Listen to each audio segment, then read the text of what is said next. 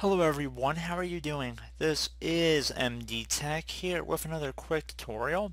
In today's tutorial I'm going to show you guys how to hopefully resolve if you're having an issue where you're getting a pop-up that says some drive is not accessible and the volume does not contain a recognizable file system. Please make sure that all required file system drives are loaded and that the volume is not corrupted.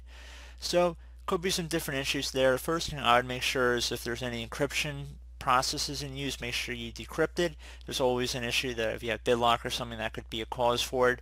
And there's also a chance that the volume could actually be corrupt, in which case that this tutorial may or may not be able to work for you. However, it should hopefully be able to help recover it.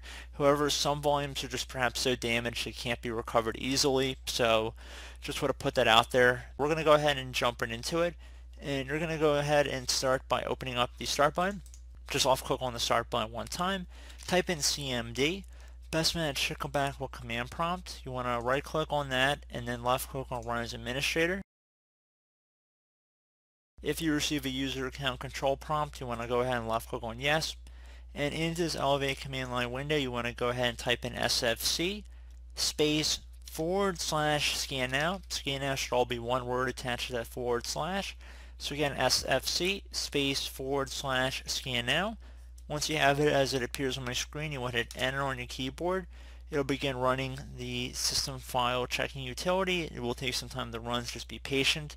So hopefully this would have been able to resolve the problem. Restart your computer once it's done. It will take some time to run here. So it says there's one that's currently pending and will require rebooting to complete.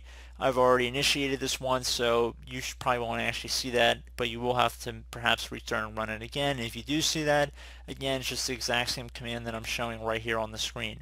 So pretty straightforward process here guys. Let it run restart your computer once it's done and I do hope that this brief tutorial was able to help you guys out. And as always thank you for watching and I do look forward to catching you all in the next tutorial.